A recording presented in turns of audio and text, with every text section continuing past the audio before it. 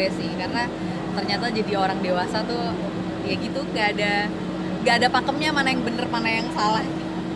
Manda adu acting pertama kali sama Ardito gimana? Dia kan pertama di film ini. acting ya Dito tuh profesional banget sih gitu. Dan setauku kan Dito eh, sebelumnya udah pernah acting ya di web series kalau nggak salah gitu di beberapa web series. Terus setauku Dito juga punya background kuliah film.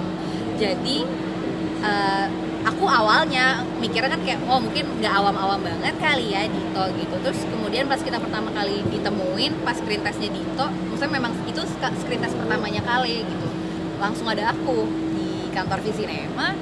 Udah pas kita nyoba dialog dan gimana cara dia membawakan Kale aku langsung ngerasa oh dia Kale sih gitu.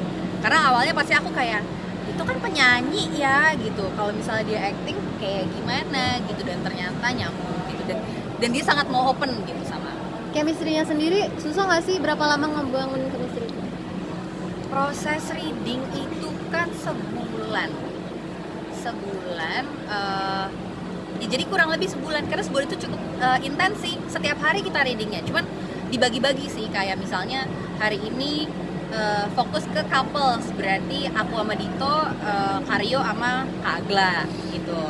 Terus nanti besoknya memang sebagian besar sih readingnya tuh lebih intens di bagian keluarga gitu. Karena kan ya masalahnya memang lebih seputar keluarga gitu. Tapi kayak misalnya aku aku sempat jalan-jalan bareng aku Dito Sheila sama Om Doni kita tuh sempet keliling malam-malam tuh ke tempat berbagai live music gitu. Jadi kayak ya udah kita nongkrong bareng keluarga plus ada cowok lain nih dari luar keluarga nih si kali ini gitu. Dan di situ kita ngobrol banyak.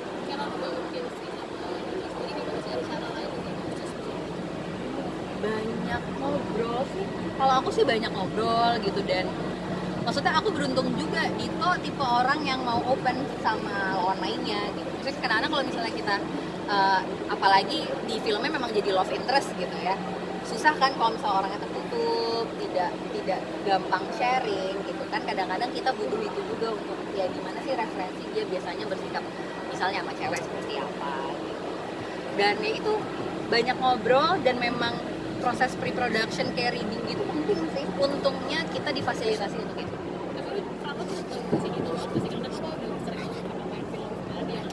Wah itu tanya Dito sih, jangan tanya aku, aku nggak tahu ya. Maksudnya aku se, se, se membantu dia seperti apa, nggak tahu. Cuman mungkin aku memang kalau di set, eh, kalau misalnya Dito butuh diskusi tentang